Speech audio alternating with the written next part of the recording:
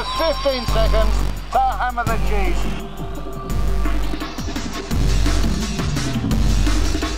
Go, go, go! Five, four, three, two, one. That was very close.